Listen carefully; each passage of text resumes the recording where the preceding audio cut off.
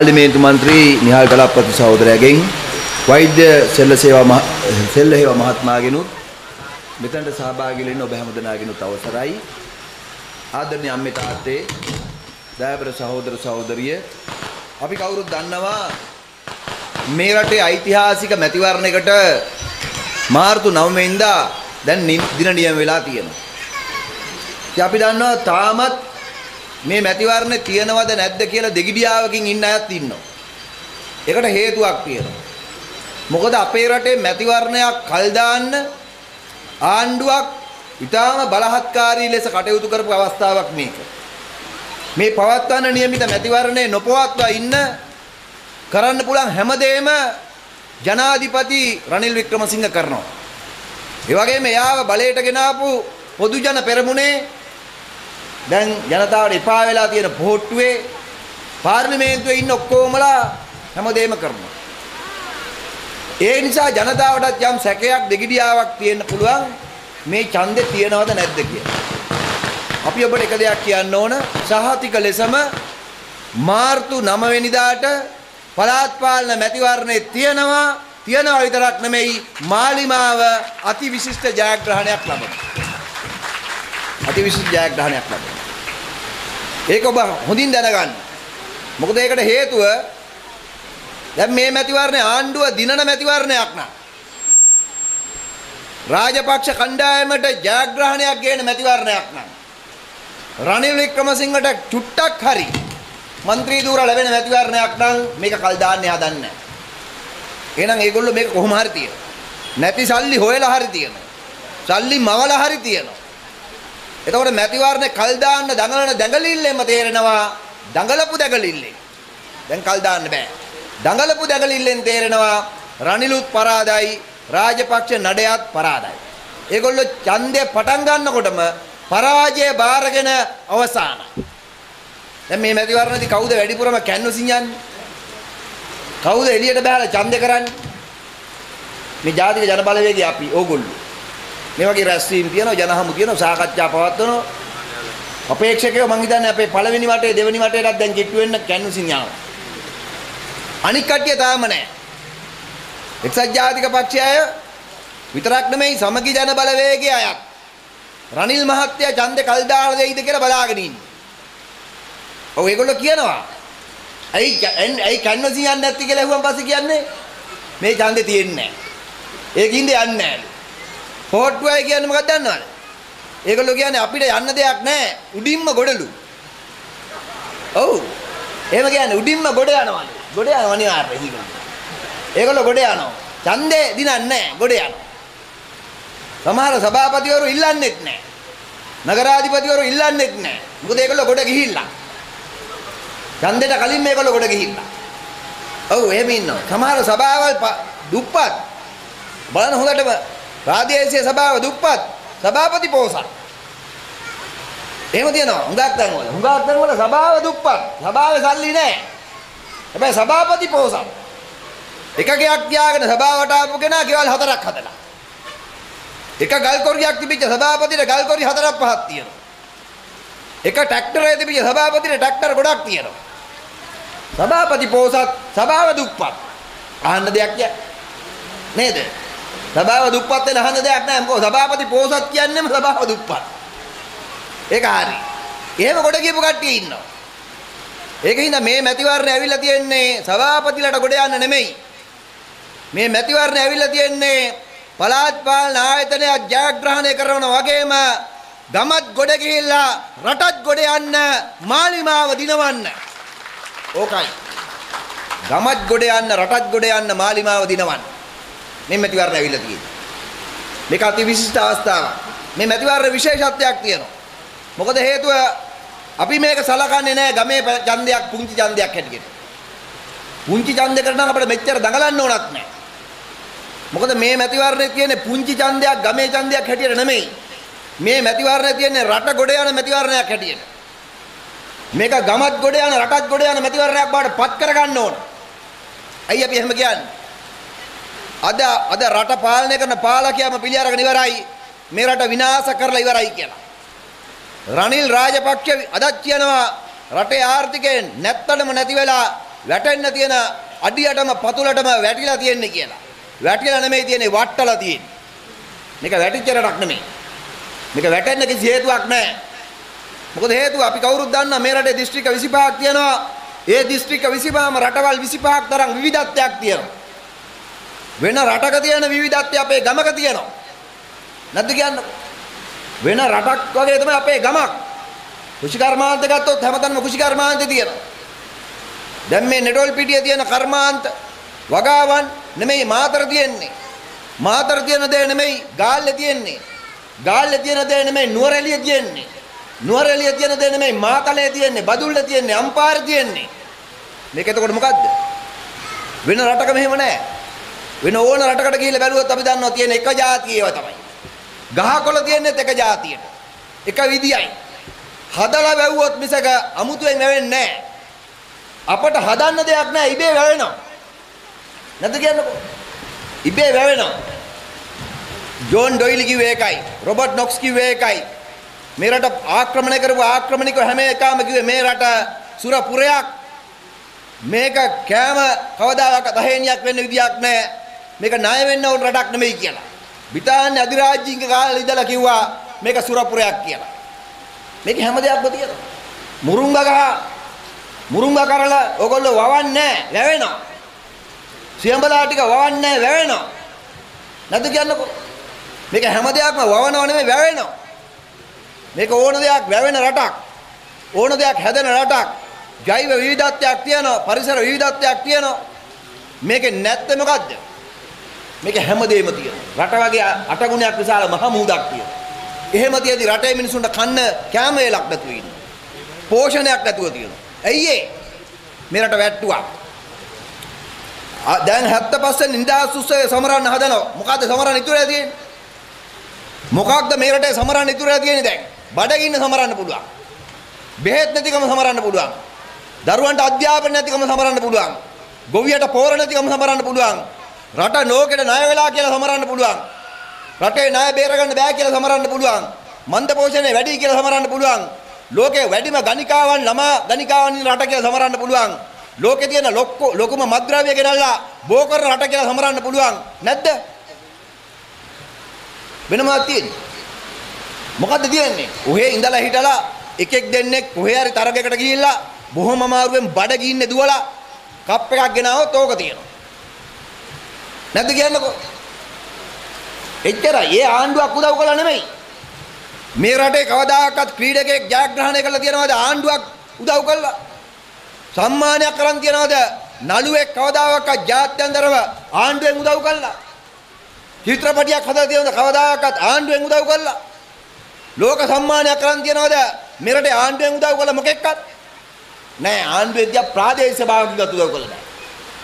ඒවා තනි තනි මිනිසුන්ගේ ජයග්‍රහණ. විභාගයක් පාස් වුණොත් ළමයෙක් ඒක තනිම තනි ජයග්‍රහණ. පාස් වුණාට පස්සේ මාළේ දාන්න නම් එනවා කට්ටිය. පිළිගැනීමට එනවා එයාපෝට් එකට. ලකුණු දාගන්න එනවා. එහෙමනේ.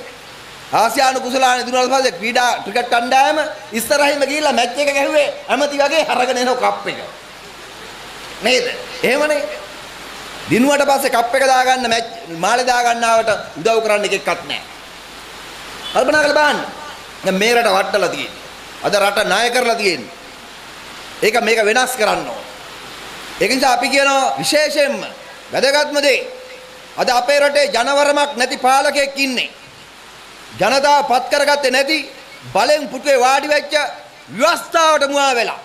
ව්‍යවස්ථාවේ වගන්ති වලට මුවා වෙලා පුටුවේ වාඩි වෙච්ච රජෙක් ඉන්නේ. බස්සන්න ඕනද නැද්ද පුටුවෙන් ඉන්නේ?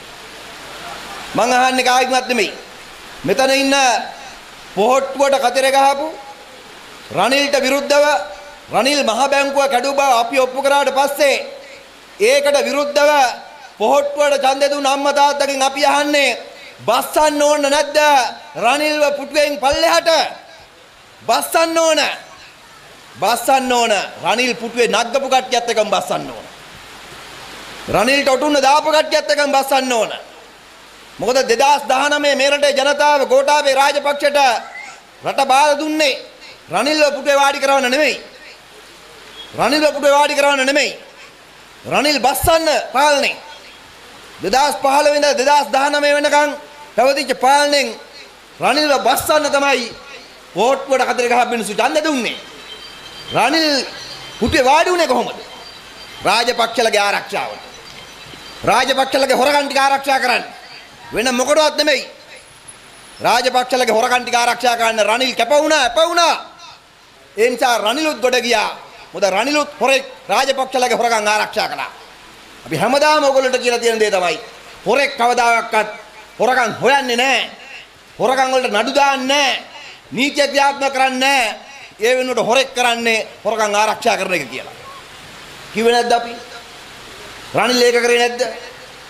රනිල් ඒක කරන්නේ. රාජපක්ෂලා ඒක කරේ නැද්ද? රාජපක්ෂලා ඒක කරේ.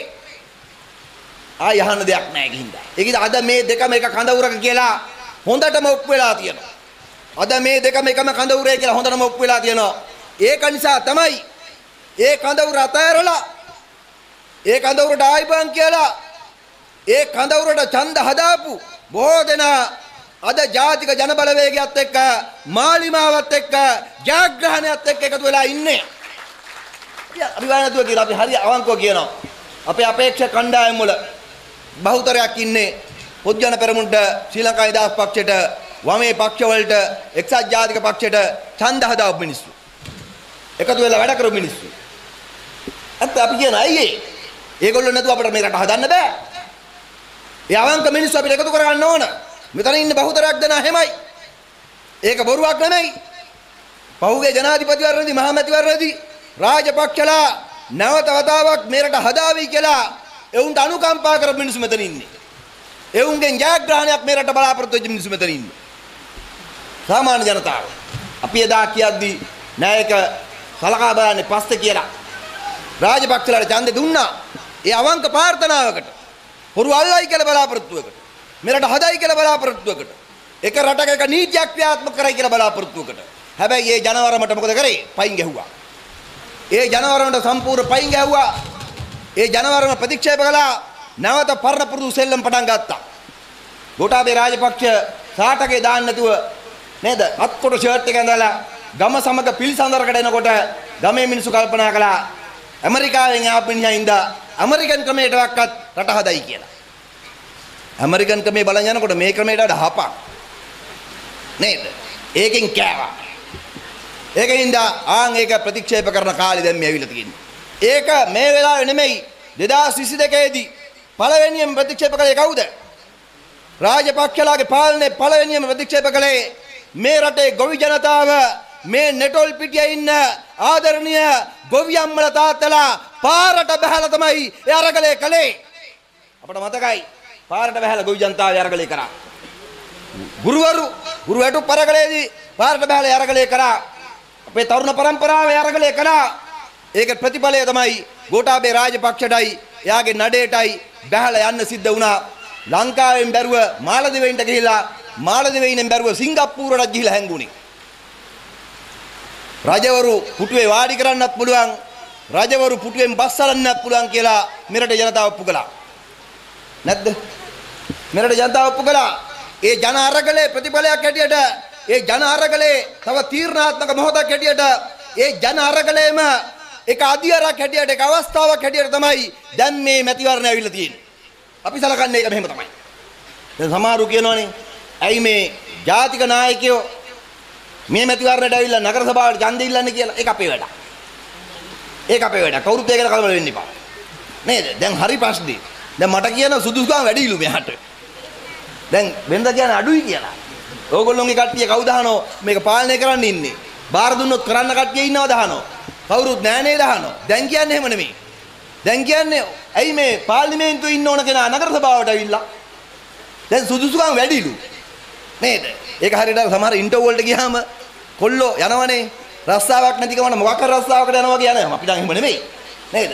රස්සාවට ගියාම කියනවා මේ මෙච්චර සුදුසුකම් තියාගෙන අයියෝ මේ රස්සාවට ඉන්නේ. දැන් මේ අහන්නේ කවුද? ජනතාව නෙමෙයි. ජනතාව කැමති. අර පැත්තේ කට්ටිය. ඒගොල්ලෝ මාර අමාරුව. නේ ඒගොල්ලෝ මාර අමාරුව. ඒගොල්ලෝ අපි නිකන් නොමිලේ පාර්ලිමේන්තුව යවන්න හදන නගර සභාවට එන්න එපාලු. නේද? අපට තනතුරු වරප්‍රසාදයක් නෙමෙයි. හොඳට මතක තියාගන්න. මේ ආදරණීය අම්මලා තාත්තලා ඒක දන්නවා. අපට තනතුරු මල් මාල නැහැ.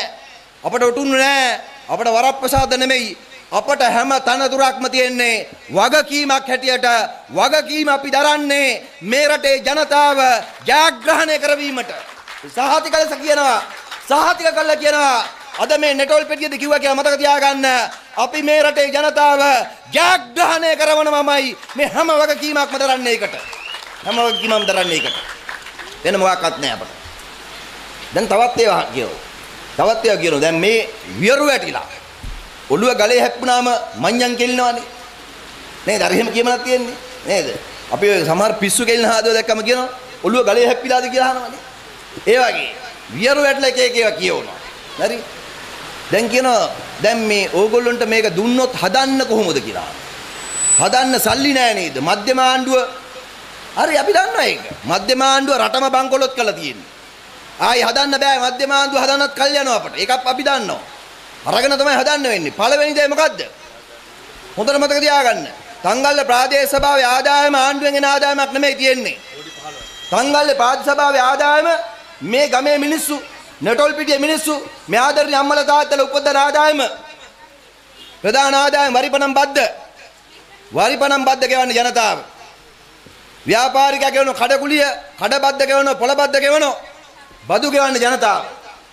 හොඳට මතක තියාගන්න. ආණ්ඩුව නෙමෙයි. කෝටි 15ක ආදායමක් උපදවනවා අවුරුද්දකට. මේ තංගල්ල ප්‍රාදේශ සභාව. ඒකේ තියෙනවා කඩකුලි, පොළබදු, වරිපණම් බදු, ඒ විතරක් නෙමෙයි. දඩ ගාස්තුත් තියෙනවා. හෙල්මට් එක දාගෙන යන්න නැතුව ගිහිල්ලා අහුණාම පොලිසියෙන් දඩකොලේ ලියනවා. ගාස්තුවෙන් කොටසක් යන්නේ කොහෙටද? ප්‍රාදේශ සභාව. ප්‍රාදේශ සභාවට යන උසාවියේ නඩු ගියාට පස්සේ නඩුවේ වරදකාරයක් වුණාම ගාස්තුවක් ගෙවනවා. නඩු ගාස්තු.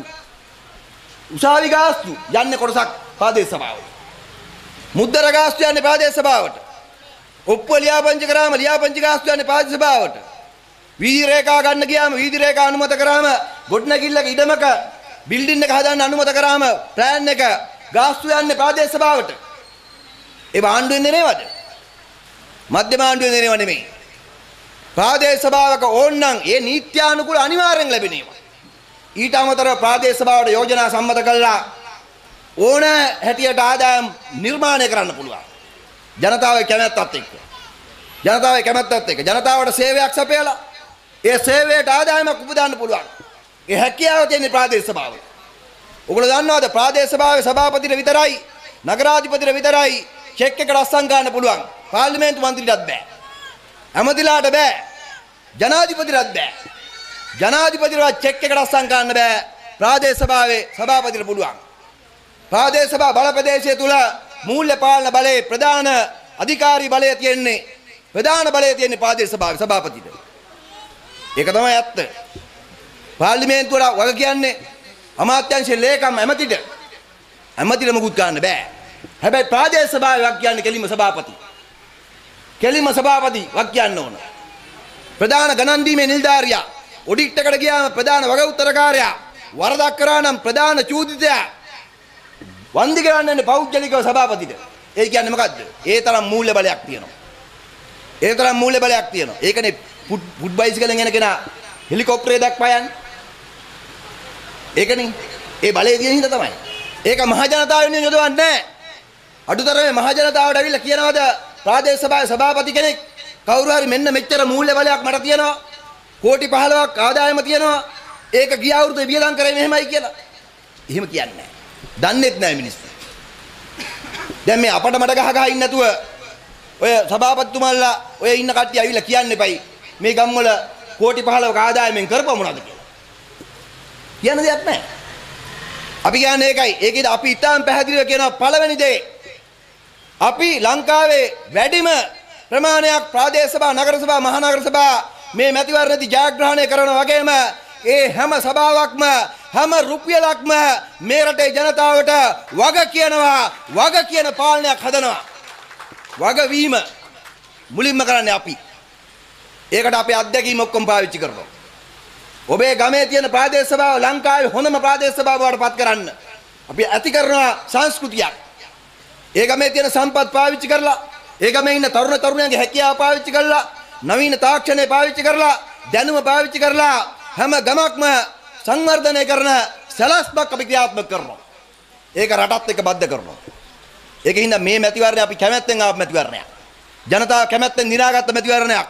මේ මැතිවරණ විශේෂත්වය තමයි ගම හදලා පෙන්වන්න රට හදන්න කලින් අපට අවස්ථාව ලැබෙන මැතිවරණ බවට මේක පත් වෙලා තියෙනවා. හුඟක් අය ඔක් කියන්නේ හඳුරන්නේ. ඕගොල්ලෝ කයිවාරුව විතරයි කරලා පෙන්වන්න කියලා. අපි කරලා පෙන්නනවා.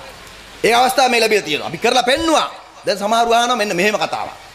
ඒක ඉතින් මේ නෙටොල් පිටියේ අම්මලා තාත්තලාට නම් එච්චර කියන්න දෙයක් නෙමෙයි. නමුත් රටේ කතාවක් තියෙන නිසා. කෝ තිස්ස මහරාමේ දුන්න හදලා පෙන්නුවද කියලා අහනවනේ. එහෙම අහනවනේ. තිස්ස මහරාමේ ඕගොල්ලන්ට දුන්න හදලා පෙන්නුවද කියලා. අපිට තිස්ස මහරාමේ ලැබුණේ 2001. 2001. එතකොට අපි 2001 වෙනකොට ලොකු අත්දැකීම් ගොඩක් තිබුණේ නැහැ. මේ පරිපාලනය ගැන පාලනය ගැන මොකද අපි 1994 අපේ ගලප්පත් සහෝදරය විතරයි පාර්ලිමේන්තුවේ හිටියේ 2000 වෙනකොට අපි 10 දෙනයි හිටියේ. 2001 පළවෙනි මැතිවරණයෙන් පළාත් පාලන මැතිවරණය අපි තරම් කරපු ප්‍රාදේශ සභාව හම්බුණා තිස්ස මහරාමේ අපේ ජයසිරි සහෝදරයා. සභාපති වුණා.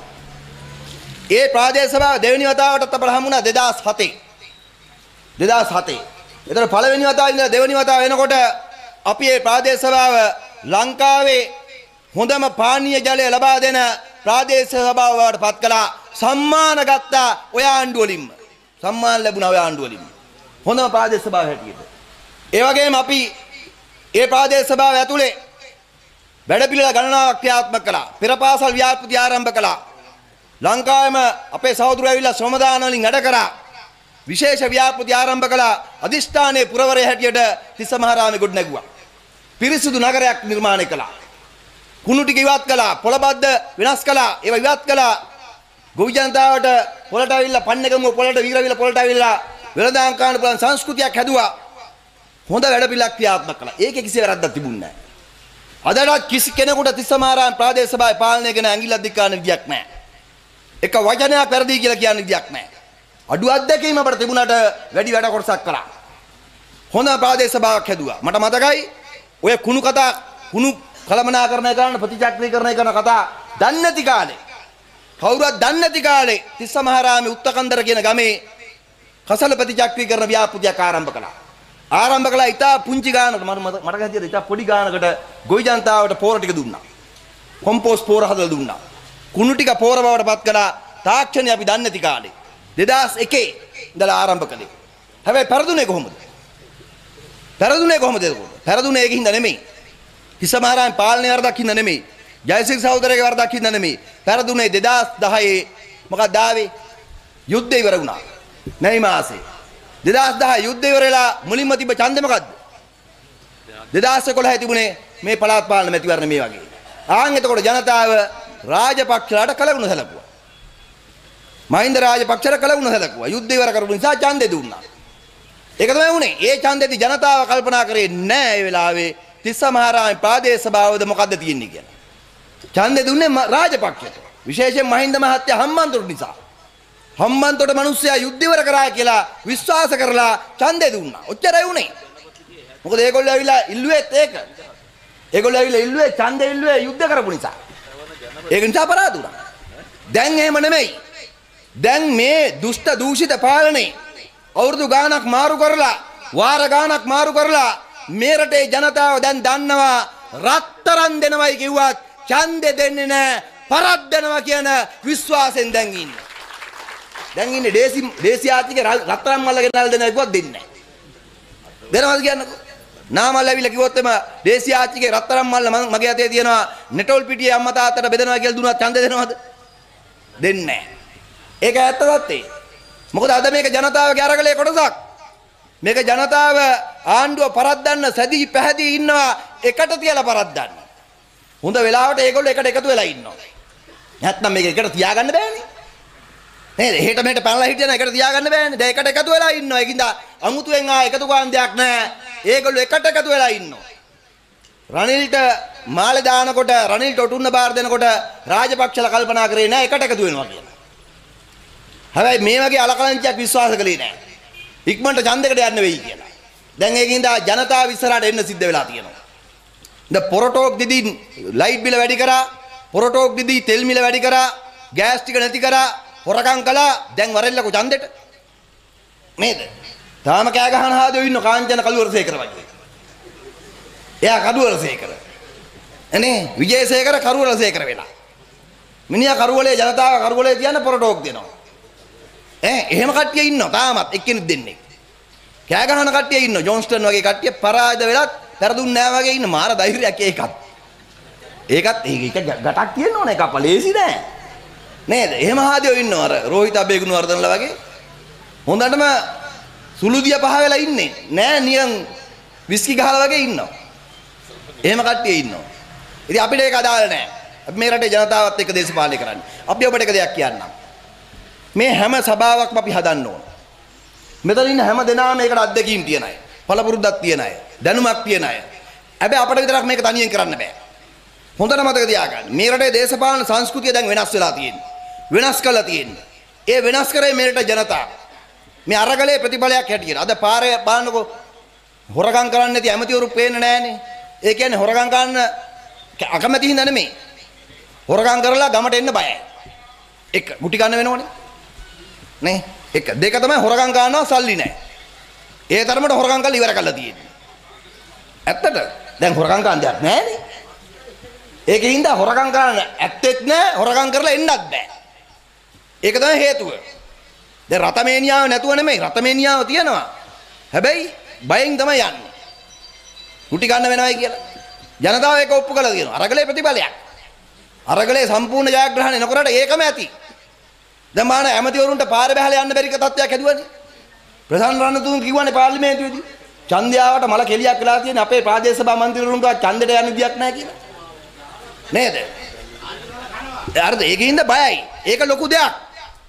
අපිට එහෙම බයක් නැහැ. අපිට ඕගොල්ලෝ අතර එන්න පුළුවන්, කතා බහ කරන්න පුළුවන්, අපේ අඩුපාඩුවක් තියෙනවා අපිට කියන්න පුළුවන්. ඕගොල්ලන්ට අපිට බනින්න හරි පුළුවන්. ප්‍රශ්නයක් නැහැ. අපිට අපිට ප්‍රශ්නයක් නැහැ. අපිට හොරාට හොරා කියන්න පුළුවන් බය නැතුව.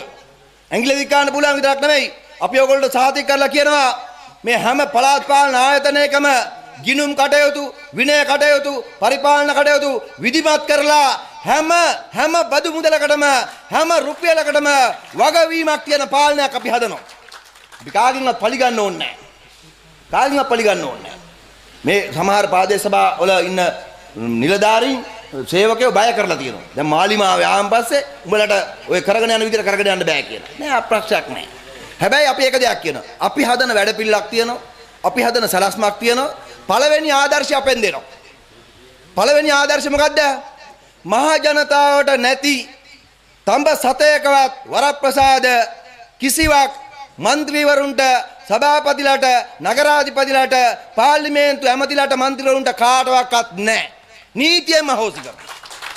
නීතියම හොසි කරනවා. මොකද කියන්නේ? හොඳයිනේ. ජනතාවට දැන් ඕගොල්ලෝ මෙතනට ආවේ නැහැනේ පොලිසියෙන් ඉස්සරහින් පිටිපස්සෙන් ගාඩ් එක දාගෙන. කවුරුත් ආවේ නැහැ එහෙම නේද? මම ආවෙත් නැහැ. එහෙනම් හොඳයිනේ. අපි අපි ජනාධිපති වුණත් එහෙම තමයි. ඇමති වුණත් එහෙම තමයි. මොකද ජනතාවට නැති ආරක්ෂාව අපිට වෙලක් නැහැ. නේද? මෙතන ඉන්න කාටවත් ගෙදරට අමතරව නිල නිවාස තියනවද? නෑනේ ගයක් තියෙන එච්චර. ඒකෙත් වහල තෙමෙනවා එක්ක කපරාරුව ගහගෙන තියෙන බිත්ති බෙද ගන්න විදියක් නැහැ. බාගෙට බැඳලා තියෙන එහෙමනේ තියෙන්නේ. එහෙනම් අපටත් ඕන්නේ මෙතන ඉන්න කාටවත් විශ්‍රාම වැටුප් නැහනේ. ගොවි විශ්‍රාම වැටුපක් කපලා ඇත්තේ.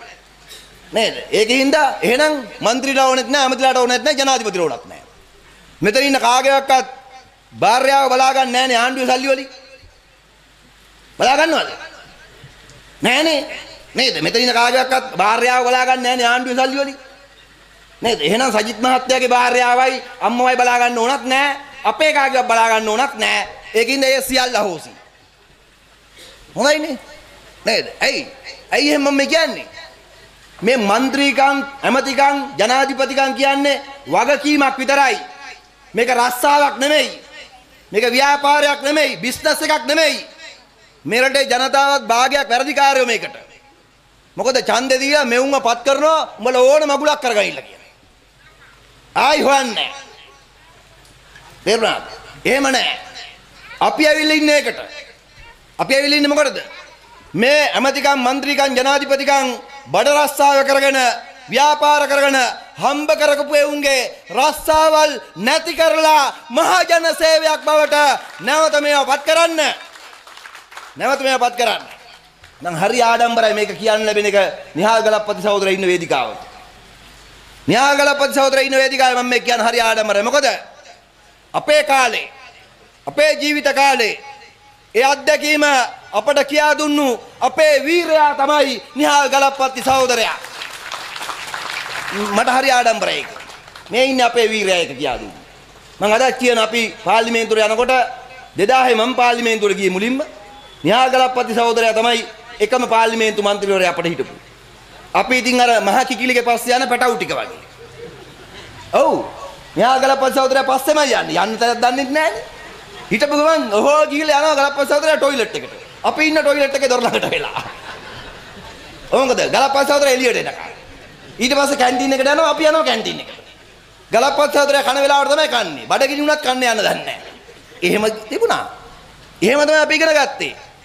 ඒ ආදර්ශය මහජන සේවය නිස්සද්දර්නාසෙන් මගමානවක වගකීමෙන් මහජනතාවට සේවය කිරීමේ උත්තුංග කාර්යභාරය අපි ඉෂ්ට කරේ එහෙමයි.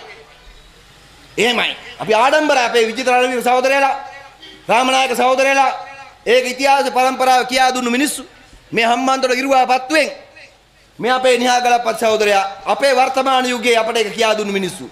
දැන් මේ ප්‍රාදේශ සභා මැතිවරණයෙන් පස්සේ මාර්තු 10 වෙනිදාන් පස්සේ ඒ යුතුයකම ඒ සංස්කෘතිය ඒ ජීවිතය අපි මුළු රට පුරාම උතුරු නැගෙනහිර ඇතුළුව හැම තැනම බෝ කරනවා. හැම තැනම බෝ කරනවා. හැම තැනම බෝ කරනවා. නරකද? එපාද? කියන්නකෝ. ඈ හොඳයි. අන්න ඒක කරන්න ඕන. එතකොට අපිට ඕගොල්ලෝ කවුද? ආ മന്ത്രിවරයා සහෝදරයා, මිත්‍රයා, ගමේ අයියා, ඇත්තටම සහෝදරයා. ඇත්තටම මිත්‍රයා. වරෙන් මචං කියලා කියන්න පුළුවන් മന്ത്രിවරු. නේ මේක කරපන් කියන්න පුළුවන්. ප්‍රාදේශ සභාව නිකන් බය වෙන තැනක් නෙමෙයි. ඉස්කෝට් එක දාලා ගාඩ් එක දාපු තැනක් නෙමෙයි. සභාපතිතුමාගේ පුටුවේ ඕන්නම් පොඩි එකාටත් ඇවිල්ලා වාඩි වෙන්න පුළුවන්. නේද? මාමේ කියලා කතා කරන්න පුළුවන්. ගමේ අඩුපාඩුව කියා දෙන්න පුළුවන්. නෙටොල් පිටිය අපේ ගුණරත්න සහෝදරයාට මචං මේක කරලා දීපන් කියලා කියන්න පුළුවන්. යෝජනාවක් කර ගේන්න පුළුවන්. නරකද? හොඳයි. එතනට හදන්න ඕන මේක. අපි කියන්නේ සලස්ම හදන්න ඕන. එතකොට අපිට දැනෙනවා මොකද්ද? බදු ගෙවන්න නැති කෙනාට ගෙවන්න හිතෙනවා. ගෙවන්න හිතනවා බලෙන් නෙමෙයි. කැමැත්තෙන්. කැමැත්තෙන්. බදු ගෙවන්න හිතනවා. මොකද ප්‍රතිඵලයක් තියෙනවා. ප්‍රයෝජනයක් තියෙනවා. එවැනි සභාවක් හදමු. එවැනි රටක් හදමු. සභාව විතරක් නෙමෙයි අපි කියන්නේ. අපි හදලා පෙන්වන්නම් හොඳනම් කෙටි කාලයක් ඇතුළත වැඩි කාලයක් යන්න කලින් මේ හොර නඩේ එලවල දාලා එවැනි රටක් හදමු. එවැනි රටක් හදමු. අන්න ඒකට තමයි අපි ඔබට ආරාධනා කරන්නේ. ඒකට තව දවස් කීයක් තියෙන්නේ? ඒකට හරියටම තව තියෙන්නේ සති පහයි. සති පහයි. මේ පෙබරවාරි මාසය අද දෙවනිදා. 28 මේ මාසය ඉවරයි 9 වෙනිදා කියන්නේ ඡන්දේ 10 වෙනිදා ප්‍රතිඵලය බලන්න ඕන. අපි අහන් ඉන්නවා අපි බලන් ඉන්නවා මේ හම්බන්තොට දිස්ත්‍රික්කයේ තංගල්ල ප්‍රාදේශ සභාව මාලිමාව ඉහළින්ම ජයග්‍රහණය කරනවායි කියන පණිවිඩය ඔබ අපට දෙන බව අපි දන්නවා. ඒ සඳහා අපි මේ සති ගානේ චුට්ටක් නේද? ගොවිතැන් වැඩ ප්‍රමාද වෙයි. ගෙදර වැඩ ප්‍රමාද වෙයි. කටයුතු පොඩ්ඩක් පැත්ත කර ගන්න වෙයි. හැබැයි ගම් පිටින් බහැලා කැන්වසින් යමු. එක ගෙදරට එක්කෙනා නෙමෙයි රොත්ත පිටින් යමු. පොහොට්ටුවේ UMP කියලා බෙදන්නේ හැම ගෙදරටම යමු. මං විශේෂයෙන් ඉල්ලා හිටනවා. ඔය අනිත් පක්ෂවල අපේක්ෂක මහතුරුන්ගේ ගෙවල් වලට යන්න. අපේක්ෂක මහතුරුන්ගේ ගෙදරත් අනිවාර්යෙන්ම එක ඡන්දයක් හරි මාලිමාවේ හැංගිච්ච ඡන්ද තියෙනවා. හැංගිච්ච ඡන්ද තියෙනවා. හරිද? සභාපත් මහත් ඒ ඒ අපේක්ෂක මහත්වයාට ඇහෙන්නේ නැති වෙන්න ළමයින්ගෙන් අහන්නකෝ. 18 කොල්ල කෙල්ලොන්ගෙන් අහන්නකෝ තාත්තාටද දෙන්නේ මාලිමාවටද දෙන්නේ කියලා. අහන්න බරුද මං කියන්නේ. ඔය අපේක්ෂක මහතුරුන්ගේ ගෙවල් වල ඉන්න දරුවන්ගෙන් අහන්න හොරට අහන්න හෙමින්තරේ අහන්න පුතේ තාත්තටද මාලිමාවටද කියලා අනිවාර්යෙන් මාලිමාවට දෙන්න කියලා. ඒකින්ද අපේක්ෂක අයගේ වෙනත් පක්ෂවල අපේක්ෂකකින් ගෙවල් වලත් මාලිමාවේ ඡන්ද තියෙනවා. ඒකින්ද බෙදන්න එපා. හැම ගෙදරකටම යමු. ගිහිල්ලා අපේ පණිවිඩය කියමු. අපේ අදහස කියමු. ඇහුම්කන් දෙමු. කතා කරමු. සාකච්ඡා කරමු. මේ රට දේශපාලන වශයෙන් වෙනස් කරන අලුත් ගමන අලුත් සංස්කෘතිය ඇති කරලා ගමත් හදලා රටත් හදන ගමත් බේරගෙන රටත් බේරගන්න උත්තුංග කාර්ය වෙනුවෙන් නෙටොල් පිටි ආදරණීය අම්මලා තාත්තලාට ශක්තිය ලැබෙන්න ඕන ධෛර්ය ලැබෙන්න ඕන වීරිය ලැබෙන්න ඕන. ඒ සුබ පණිවිඩය රට දිනවන මාවත මාලිමාවේ මාවත ජයග්‍රහණය කරවන්න ඔබ හැම දෙනාටම ශක්තිය ලැබේවා ධෛර්ය ලැබේවායි කියලා ප්‍රාර්ථනා කරමින් මම ඔබේ සමුගන්නවා හැම දෙනාටම ජය වේවායි කියලා ප්‍රාර්ථනා කරනවා. බොහොම ස්තුතියි.